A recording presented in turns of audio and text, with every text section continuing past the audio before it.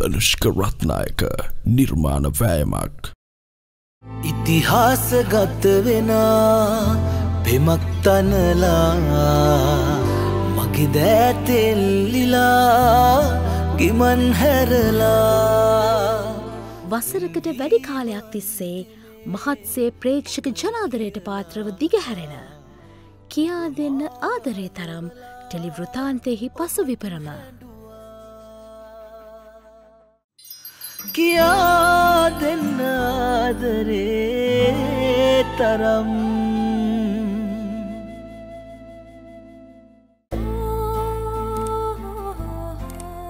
ස්නේහා ජනප්‍රිය වෙළදනාමයක් වෙච්ච රන්දනියතේ අධිපති රොඩ්නි රන්දනියගේ දුව. මට ඕනේ ඔයා අම්ම විදියට වගේ රෙස්පොන්සිබිල්ට එක ස්ටකන් හැටි බලන්න. යුසි එතකොට ඔයා තාත කෙනෙක් හැටියට ඔයාගේ ඩියුටි එක කරන්නේ නැද. සැපට හුරතලයට හැදෙන ස්නේහගේ අම්මා ප්‍රසිද්ධ නව කතාකාරයක්. ඇ රසාදරී මනෝරංජනී මුදලි හාමි. එම කියන පාතාත්තේ රසාදරී මනෝරංජනය කියලා කවර ප්‍රින්ට් කළ හිස්කෝල්ට එකක් දුන්නත් ගන්න මිනිසු බලාගෙනන්නවා. අන්න ඒකයි මිස්ටර් ඔඩ්නි රන්දනිය වෙනස. ස්නේහගේ සොහොයුරා යසිත්. එංගලන්තයේ වෙසෙන ප්‍රකට ශල්ල වෛද්‍යවරයෙක්. එවැනි වටපිටාවක අඩුපාඩුවක් නැති තැවෙන්නට හේතුවක් නැති ජීවිතයක් ගත කරන ස්නේහා අනුත්තරට ආදරය කරන්නේ ජීවිතය ගැන හරි අවබෝධයක් නැති කාලෙක. යන්න.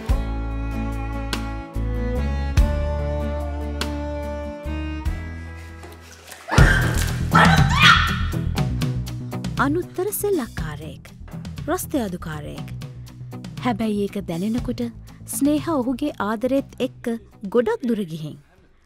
අඩුපාඩු හින්ද අතාරින්න බැරිකමට එයා අනුත්තරව හදාගන්නවා. හරියට අම්මෙක් දරුවෙක් බලාගන්නවා වගේ. අනුත්තරත් ඇගේ ආදරය ඇසුරේ අලුත් ජීවිතයක් ලබනවා. නමුත් ඒ සතුට බුක්ති විඳින්නට ස්නේහට ඉඩ නොතියාම පිරිසක් ඇගේ ඇස් පනාපිටම අනුත්තරට පහරදී ඔහුව ඝාතනය කරනවා.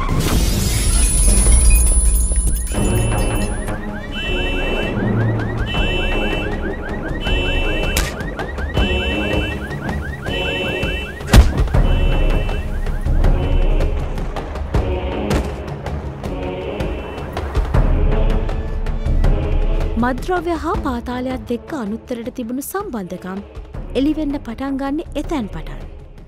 ඒ නින්දාව ස්නේහට වගේම රන්දනිය පවුල්ටත් දරාගන්න බැරි වුණා. ස්නේහගේ අය යසිත් පවා මේ සිද්ධියෙන් පස්සේ පවුලෙන් ඈත් වෙනවා. අනුත්තරගේ රහසිගත ජීවිතයෙන් ස්නේහ කලකිරෙන්නේ පිරිමි සංහතිය ගැනම. එතන ඉදලා ඇයට ඕන වෙන්නේ හැමදාම තනියම ඉන්න. මට දැන් කසද බඳන්න ඉඩියකක් නෑ. අනතක මනුසේ කසද බැඳ නෑ කියලා මැරෙන්නේ නෑ තාත්ති. මගේ අදහස වෙනස්සලා මට ගැලපෙනවා කියලා කෙනෙක් හම්බෙච්ච දවසට මම තාත්තට කියන්න. එතකම ඔයාලා මට ප්‍රොපෝසල් හොයන්න එපා. Please don't bother me. ඇගේ ඒ තීරණය රන්දනිය පවුලට දරාගන්න බැරි වෙනවා. ඔවුන් බලෙන් හරි ස්නේහව කසාද බඳන්න තීරණය කරන්නේ එස්සිත් ඇවුල නිසා. අම්මලට විතරක් නෙවෙයි සමට තාතලටත් දරුවන්ට බයවෙන්න සිද්ධ වෙනවා ඇති. හැබැයි මේ තාත්ත එහෙමනෑ අම් කම්ප්‍රීට ඩිෆරන් ෆාද කෙනෙක් තෙරනාද රන්දනිය පවුලගේ පාසල් සමයේ මිතුරෙකුගේ පුතෙක් ඔවුන්ගේ බලාපොරොත්තුව වෙනවා. ඒ ආයුෂ් ආයුෂ් අභයරත්න ආයුෂ් ස්නේහට ලංවෙන්නේ ආදරය හින්දම නෙවෙයි. වැටනු ව්‍යාපාර කටයුතු රොඩ්නිගේ සල්ලිවලින් ආය ගොඩනගා ගැනීමේ බලාපොරොත්තුවෙන්. ප්‍රොජෙක්් එක විතරක් කෙරිලා ස්නේහ නැතිල වැඩක් නෑ මගේ හිතට හරියන්න ලගේ දෙකම් මට එක පාල පෙන්ටුවන ඒ අතර ස්නේහ අහම්බෙන් මගතොටකදි දැක්ක අනුත්තර වගේම පිරිමිලාමයෙක් දකිමින් විඳමින් ඉන්නවා. එයා නිර්වාන් ඉන්න රෙදි මොලවත්තේ. මංගාව තියෙනවා සූමන්තවලින් කිලෝග්‍රෑම් හතරක් විතර පේට්ට අඩුකරගන්ටුව ප්ලෑන් එක අම්ම අයිරා ඇ රෙදිමෝලවත්තේ කුණු අපුල්ලනවා. තාත්තා ලිංකන් හම්බ කරන්නෙම මගෝඩි වැඩවලින්. නෝනල මහත්තුරුන්ට වැඩි වැඩියෙන් ලැබෙන්ඩෝ මල්ලි අනර්ග මාසෙ පඩියට චන්ඩියෙක් ළඟ දාමරිකකං කරනවා. අක්ක සමන්දිනී තාත්ත කෙනෙක් නැති දරුවෙක්ව අම්ම තාත්තා ළඟ තියලා මැද පෙරදිග රස්සාාවක් කරනවා. ඇ මිනා හරි අහිංසක සොඳුරු හුරතල් පුංචියකියෙක්. මට අලුත් බෑග් බයිසිකල් ඔල්ලොසු එ මුකුත් එපා. අපි අම්මට එන්න කියමු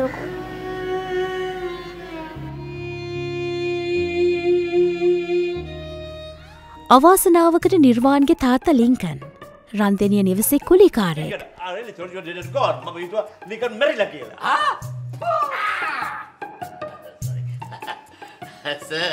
පෞගේ කාලේ මන්ස පොඩි ජොබ්යකට සෙට්ටලා නැව් නැක්ගා. ඒ රහස එහෙම්මම තියෙද්දී ස්නේහා අම්මගේ තාත්තගේ කරදරෙන් බේරෙන්න සැලසුමක් දියත් කරනවා.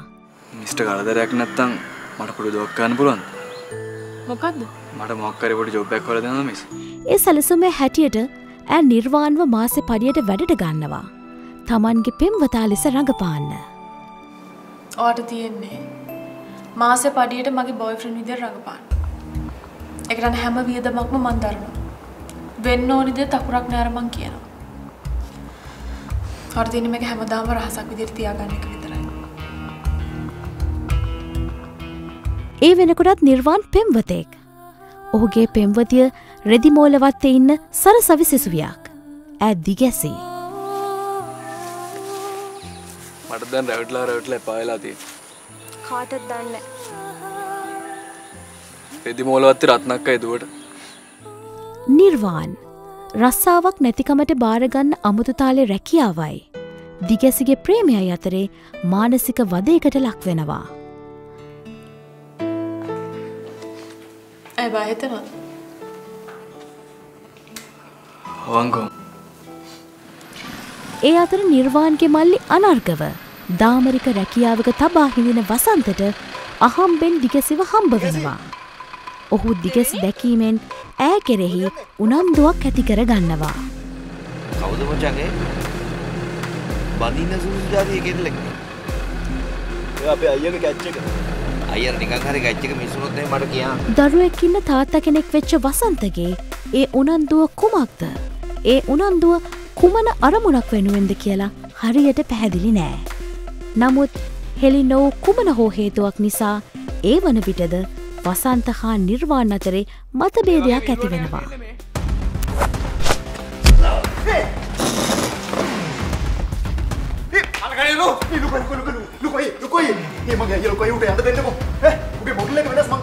මතබේදයක් ඇතිවෙනවා. කොහමද මගදන්ටයිල මවටන්නේ මෙකී සිදුවීම් අතරේ ස්නේහා නිර්වාන් තම අලුත් පෙම්වතා ලෙසින් ගෙදරට හඳුන්වාදීම සඳහා ඔහුගේ ඇඳුම් පැළඳුම්ද හැකියාවන්ද සමාජතත්වේද තම වියදමින් සකසනවා.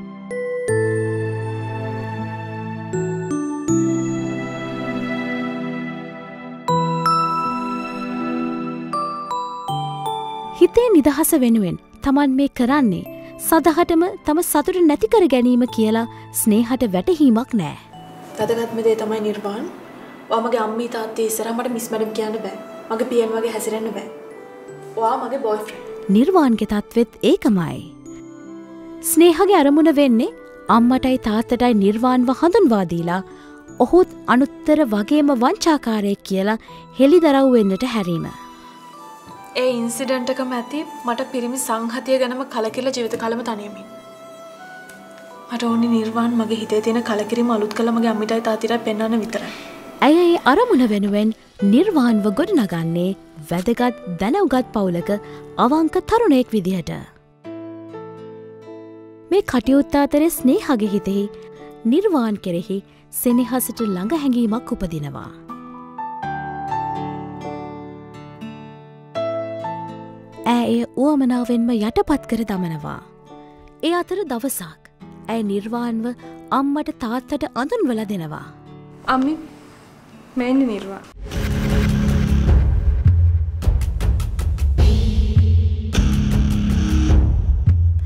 රසාදරී පළමු හමුවීමෙන්ම නිර්වාන් ගැන පැහැදුනත් රොඩ්නි ඔහු ප්‍රතික්ෂේප කරනවා.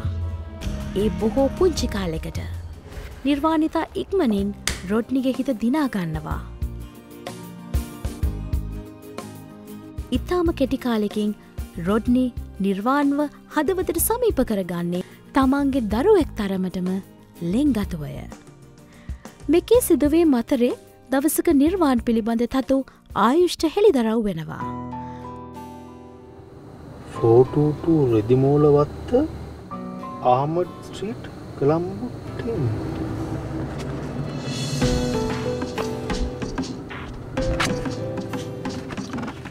ටීම්. කෞදරවුණුලෙමේ ආයුෂ් ඒ ගැන විස්තර රොඩ්නිට දීමෙන් පමණක් නතර නොවී රෙදිමෝලවත්තෙදී නිර්වාන්ට ඔහුව මුණගස්සනවා.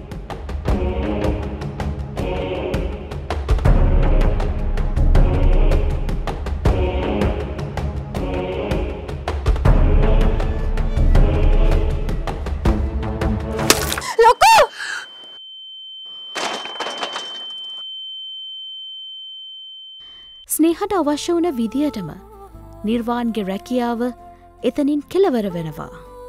ස්නේහට නැවත විවාහයක් පිළිබඳ සිතීම රන්දනය යෝලත් අත්හැර දමනවා. ජීවත්වෙන්න මැරි කරන්න මෝනෙ නෑ. කාලකන්නෙකුට අහුනට වඩා ජීවිත කාලෙම මැරෙනොකන තනියම හිටියත් කමක් නෑ.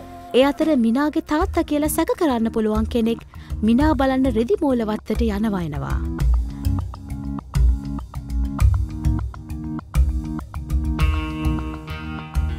ඒ සිදුවීම් අතරෙම වසන්ත තම සහෝදරයව දිගසිට යෝජනා කරන්නේ දිගසිගේ තාත්තව හරිම සූක්ෂම විදිහට දිනා ගනිමින්. අයියගේ දුව අපේ පවුලට දෙන්නයි. මේ අම්ම තාත්තා නැතුව බොහොම දුක්මාන්සියෙන් බොහොම වැදගත් විදිහට හැදිච්ච කොල්ලෙක්යි. දඩුවම් විදිමින් හිරගෙදර හිඳින මිනීමරු දාමරිකකු වන වස්තු හොඳ මිනිහෙක් කරන්න දිගසිට පුළුවන් කියන විශ්වාසේ වසන්තට තියෙනවා. කෙල්ල ගෙදට කියල තාත්තා හම්බුණා. මිනිිය කැමති. කෙල්ලගෙත් අකමැත්තන්නේ කෙල්ල අකමැතුනත් උඹ කැමතින කොහමරි වැඩේ වෙන. වසන්ත දිගසිගේ තම සොහොයුරාගේත් විවාහය සැලසුම් කරන්නේ ඒ අරමුණින්. දිගසිගේ තාත්තා හේමරත්න. ඔහු පිළිබඳව දන්නේ එංගලන්තේ උසස් අධ්‍යාපනය හදාරන තරුණයෙක් විදිහට. මිනිිය ලංකාවට පයගානකොට මිනිට අතගාන්ඩ පොඩි වාහන පිස්සසිකුයි ගෙවල් හදල විකුණ කතන්දරක රැසි කල තියෙන් තව හය මාසයක් විතර අදව එංගලන්ත කතන්දර ටික ඔක්කෝම ඉවර කරලා මිනිිය මෙම බාරගන්න මට පයගන්න මෙකේ සිදුවේ මතර නිර්වාන්ගෙන් ඇත්වනො ස්නේහා ඒ ඈත්වීම දරාගත නොහැකිව සිතින් වද වෙන්න පටන් ගන්නවා. රංගපෑමකට කළ ප්‍රේමය සැබෑවක්ව ඇ විදින්නට ගන්නවා. දිගැසි නිර්වාන් එක්ක ඇයට හමුවන්නෙම එහෙම කාලෙක.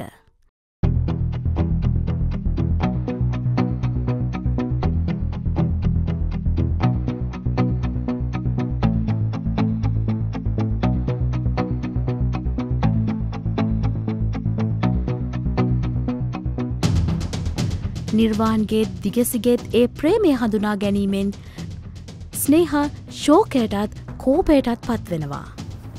ඇනිවට එම රිලේශිප් ඇති ලගලවට කලින් කිව නැත්ත. වා කවදවත් මගින් එහෙම දැකාපු නැති නිසා. මංවාට දුර ජොබ්ක හැටියට එක හන්න වනිද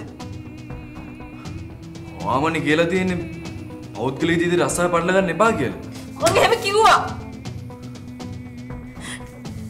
එත් හොක පටල ගත්ත නිර්වා ඒකයි මට මෙහෙමුණ එතැන් පටන් ස්නේහගේ හිතේ තිබුණු නිර්වාණ පිළිබඳ ප්‍රේමය සෑම අතකින්ම එලි දකින්නට ගන්නවා. ඇ කෙසේ හෝ නිර්වාන් තමන්ගේ කර ගැනීමේ සටනක නියලෙන්නේ එතැන් පටන්ය. ඒ අතර දවසක වසන්තට කිසිවෙකු තැබූ වෙඩිල්ලකට පපුවදීමෙන් අනර්ග මරණාසන්න තුවාල ලබනවා.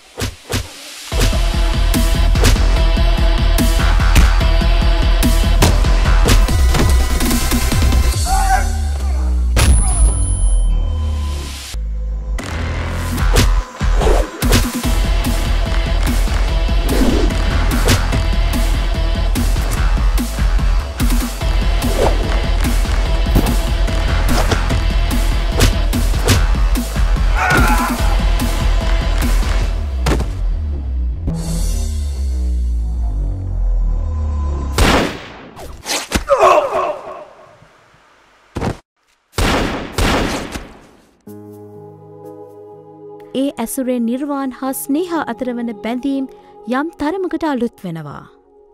මේ කිසිම දෙයක් නොදන්න දිගෙසේ නිර්වාන්ට වගේම නිර්වාන්ගේ පවුලයායටත් අසීමිතව ආදරය කරනවා. ඒ ආදරේ කෙසේ හෝ විනාශ කර නිර්වාන් දිනා ගැනීමේ ස්නේහගේ සටන ඉතාම ආදරණය ලෙසත් අනුවේදනය ලෙසත් ඇරබෙනවා.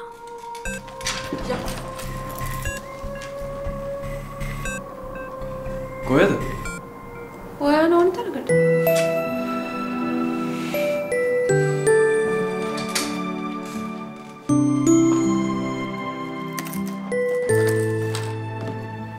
පරිසං කරගන්න තැපේ ඒ සටන සොඳුරු ආදරණීය හිතුවක්කාර එකක් වෙනවා. ඇය තමන්ගෙම තත්ත්වය තරාතිරම සියල්ලාත් හැර නිර්වාන්ගේ ප්‍රේමය පමණක් දිනාගන්නට වෙහෙසෙනවා. රැජිනක් වෙච්ච ඇය ආදරය ඉදිරියේ යදින්නියක් බවට පත්වෙනවා. අනපේක්ෂිත ඒ සිදුවීමෙන් රන්දනිය යුවල කම්පාවට පත්වෙද්දී ස්නේහගේ අයිය යසිත් බිරිඳගෙන් වෙන්වීමේ පුවතත් ඕනට දැනගන්නට ලැබෙනවා. මන් දැන් ඉන්නේ ඇත්තටම සෙපරේට් වෙලා නංගී. ඒ අතර ලිංකන් තමන් කුලිකාරෙක් වෙච්ච රන්දනිය බංගලාවේ දියනියගේත් තම පුතුගේත් ප්‍රේමය පිළිබඳව හඳුනා ගන්නවා. නමුත් එය තවදුරටත් සෙසු අයට රහසක්ව පවතිනවා. මෙකේ සිදුවීම් අතරේ ස්නේහා දිගෙසි හා නිර්වාණ අතරට එමින් ඔවුන්ගේ ජීවිතවලට බලපෑම් කිරීම අරඹනවා. ඕ ඉස්සරහින් නගින්නනේ නැතම ඔදන ඩ්‍රයිව් වගේ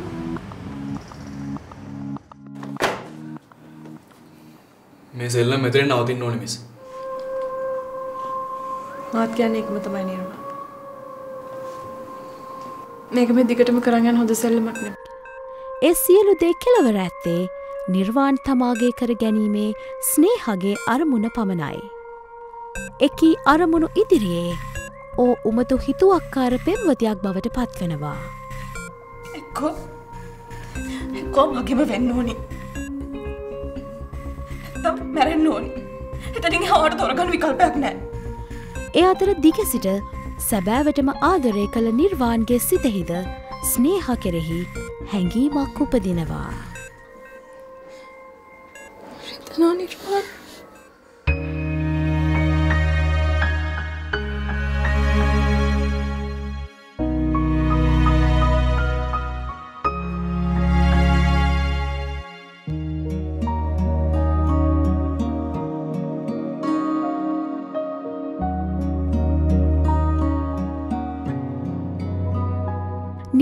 නිර්වාන් එසේ ස්නේහ හා දිගෙසි අතරේ අතරමං වෙද්දී මිනාගේ පියා ලෙස රෙදි මොලවත්තට ආගිය තැනැත්තා අනර්ගට හසු වෙනවා.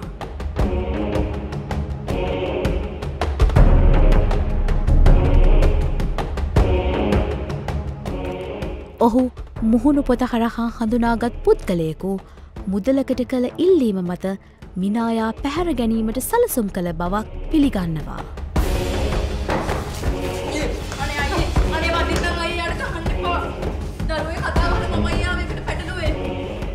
ඔහුගේ උදව්වෙන් ඒ කටයුත්තට අදාළ පුද්ගලයා සොයා ගැනීම සඳහා අනර්ගත් සැසු අයත් තීරණය කරනවා. ඒ අතර අනපේක්ෂිතව ඔහු ආයුෂ්කේ නිවස පිහිටි තට්ටු නිවාස සංකීර්ණයෙන් ඇද වැටී මිය යනවා. ඒ යම් හෙළිදරව්වක් කරන්නට ආයුෂ් සොයා පැමිණි මොහොතක. ඒ සිදුවීමෙන් ආයුෂ් අනර්ග වගේම ඔහු පිළිබඳ තොරතුරු දත් සියල්ලෝම තැතිගැන්මකට ලක්වෙනවා.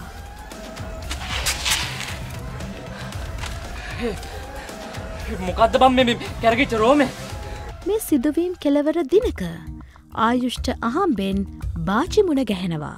බාසුරස මේන්ටෙනන්න කිටිය සමන්දිනී ජොබ් එකට දැම්මේ පාරණ මදක්ුණේස පොල්ලෙගවගේ ඔවුන්ගේ ඇඳනුම්කමට හේතුව සමන්තිනී සේම බාචි ඔවුන්ගේ ආයතනෙහි සේවය කිරීම. ඒ අලුත්වන දැනහැඳුනුම්කම් ඇසුරේ තමා මියගියායයි සිතා සිටින සමන්දිනී ජීවතුන් අතර හිඳින බවක් ආයුෂ් හඳුනා ගන්නවා. සදන්නට සමන්දින ඒක ඉතින් අරකෝස් මේකෝ සම්බානයක් කරලා කරලා කරලා පට්ට සාතික් ගොඩක් එක්කන්න ඩුබායිවල හවස්මිට් රස්සාාවක් කරනවා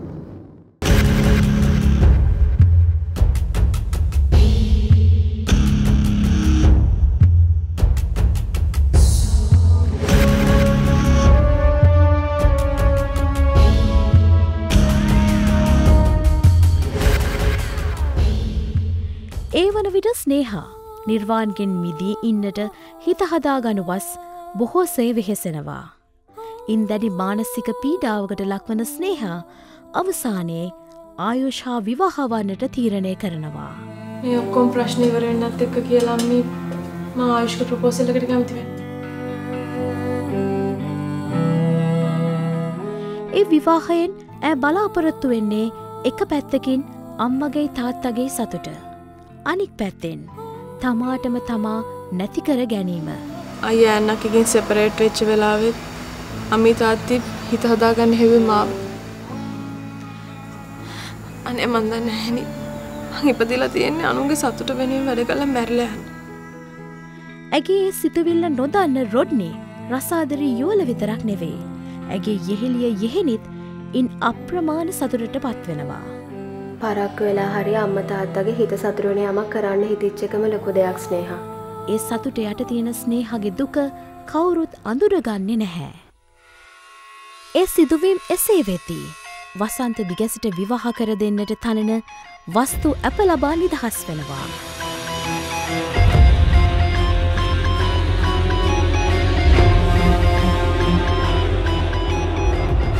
ඒ සමගම වසන්ත තම අරමුණ වෙනුවෙන් එලිපිටම රෙදිමෝලවත්තට එමින් දිගැසිගේත් වස්තුගේත් විවාහය කඩිනම් කරන්නට වෙහෙසෙනවා.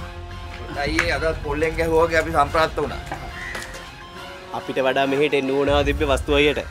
ඒ අතර එංගලන්තේ අධ්‍යාපනය හදාරා හමාරව ලංකාවට පැමිණියායයි කියන වස්තු කාලයක් සිරගතව සිට ඇප ලබා නිදහස් වුවෙකු බව හේමරත්න හඳුනා ගන්නවා. හැබැයි ඉතින් තව සහෝදර හිටියත් ඔය වස්තු කියනකානං හිටිය හිරේ ඒක අයි දෙයක් නෑ දැන් එතකොට මෙයාවේ ඒ මල්ලි කියලම්ට හොඳට විශ්වාසද ඉන් ඇතිවන ගැටම අපි නම් ගිහිල්ලා එන්නම් අයියේ. දිගැසි වසන්ත නිවසින් පන්නා ගනී. ඔව් යන්න අයියේ. හැබැයි ආයිත් එන්න එපා. මං කැමති නෑ ඔයාලා මෙහෙම එනවට.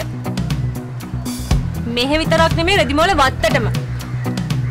ඒක මේ මිනිස්සු පාරට බහැලා කියන්න ඉස්සෙල්ලා අයිලා වැදගත් විදිහට නැවදින් හිටියොත් හොඳයි. ඒ වන විටද වස්තු දිගැසිගේ නිවසට යමින් නෙමින් හිඳින අතර දිගැසිගේ ප්‍රතිචාරය වසන්ත හා අනර්ගාතර වන හිත පළුදුවීම වෛරයක් දක්වා දුරදිග ගෙනියනවා. වැන්දත් කමක් නෑ මේ වගේ මනුස්සෙක් වගේ බෙස්සලාගත තිරිසනෙකරු නොවද. පැද්දගත් හිතකට බහිනව දොට්ට නැතම මේ උනොතරක හොලන ඔළුවෙන්ද. මේ සියලු සිදුවීම් මතරේ ස්නේහගේත් ආයුෂ්ගේත් විවාහයට කටයුතු සූදානම් වෙනවා. ඒ පිළිබඳව දැනගැනීමෙන් නිර්වාන් තදබල ලෙස මානසිකව වැටෙනවා. ඔහුගේ සිතේ ස්නේහ ගැන ලෝභකමක් උපදිනවා. ඒ ලෝභකම කෙමෙන් හිතුවක්කාර ප්‍රේමයක් දක්වා වර්ධනය වෙනවා. මේ කලබෙගෑනි අතර වස්තු අනර්ග වෙඩි තබා මරා දමන්නට සැලසුම් කරනවා.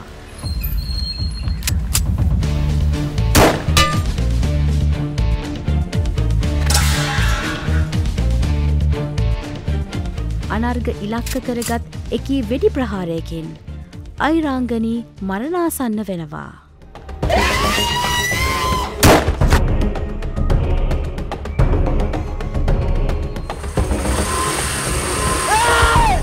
කෙලවර ඇය ඒ අවධානමින් මිදුනත් අංශභාග රෝගයකු බවට පත්වෙනවා.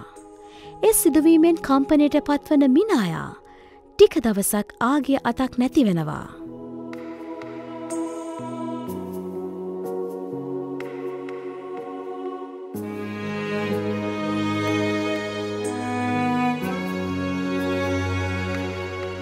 නැවත ඇය හමුවන විට ඇය සිහිමද බවකින් පෙළෙන බවත් හඳුනාගන්නවා.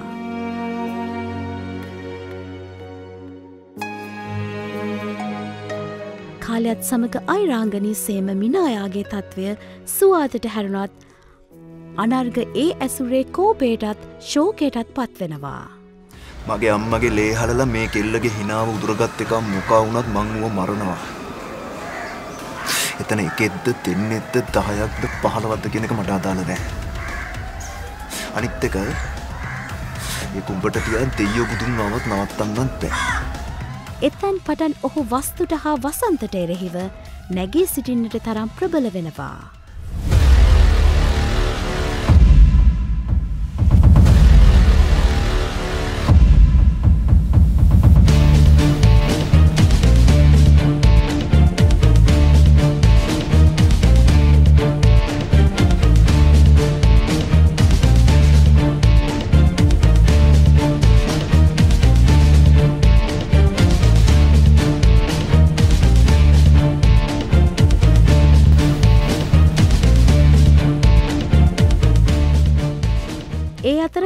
හේමරත්න වසන්තගේ හා වස්තුගේ තර්ජන නිසා දිගසිගේත් නිර්වාන්ගෙත් විවාහයට දින සූදානම් කර ගන්නවා.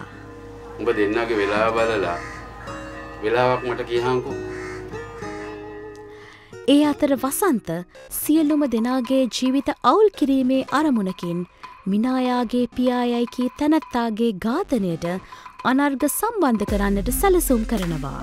සවන් නිලවන් ඝාතනයේ මහා මුලකරු රෙදිමෝලවන්තය අනා කියලා ප්‍රශ්නාර්ථයක් දානවා. ඒ පිළිබඳ පළ වූ පුවත්පතක විස්තරයක් නිසා අනර්ග රටේ නමගිය අපරාධකාරයෙකු ලෙස හංවඩු ගැහෙනවා. ඒ කුමන්ත්‍රණයනුත් තමන් ආපස්සට යාම නිසා වසන්ත අනර්ගගේ ජීවිතය විනාස කරන්නට පෙළඹෙනවා. සීසර් වසන්ත අන්ඩවල්ඩිගෙන් ලෙෆ්ට් එවනෝට රෙදිමෝලොවත් යන ඇඩ්මිට්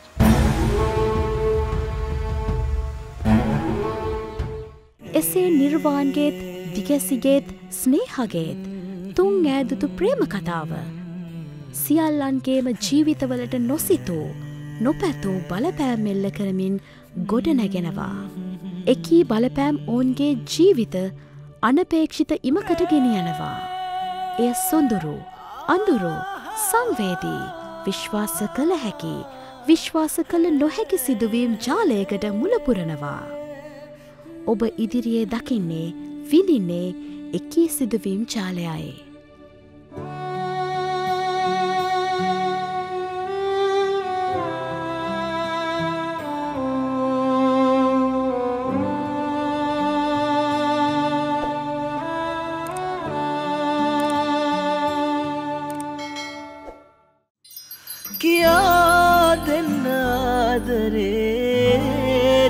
කියා දෙන්න ආදරේ තරම්